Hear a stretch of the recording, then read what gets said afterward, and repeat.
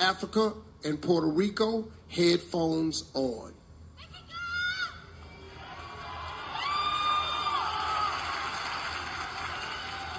Okay, it's time for your final word. Mexico, please join me.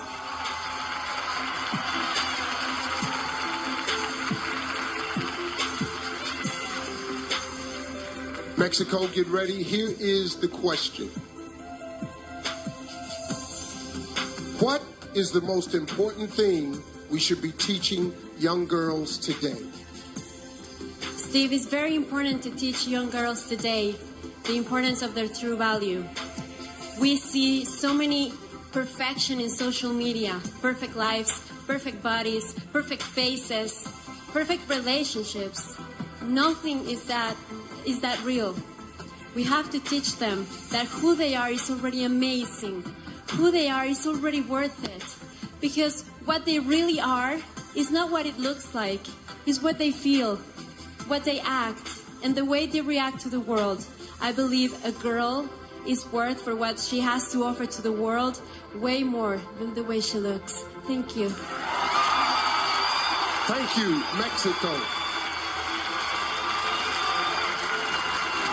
Please remove South Africa's headphones.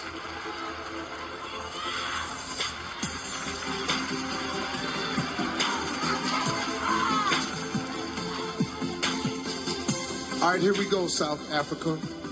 Here is your question. What is the most important thing we should be teaching young girls today? I think the most important thing we should be teaching young girls today is leadership.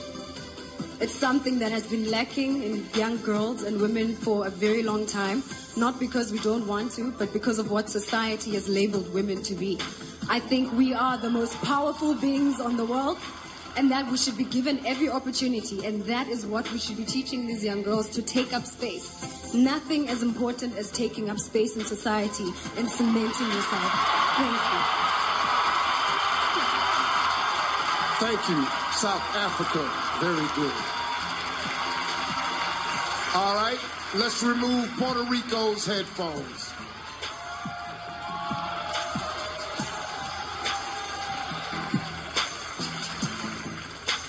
All right, Puerto Rico, Miss Puerto Rico, here is your question. What is the most important thing we should be teaching young girls today? There's so many things that I would love to teach young girls if I have the opportunity to be your next Miss Universe, such as in a world where so many people wear masks, it's such a beautiful thing to see an authentic soul. So to embrace your uniqueness, to embrace who you are because you just don't know who you can inspire just by being you. To celebrate that. Thank you. Thank you, Puerto Rico.